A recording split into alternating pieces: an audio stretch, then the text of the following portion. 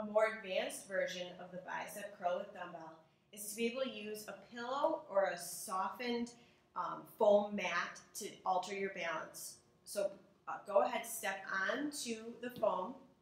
We're going to do the same thing now. You're going to start with your opposite leg and opposite arm, and you're going to perform bicep curls while keeping your balance on the foam mat. Again, you can switch it up and make it a little bit harder by using your same arm and same leg.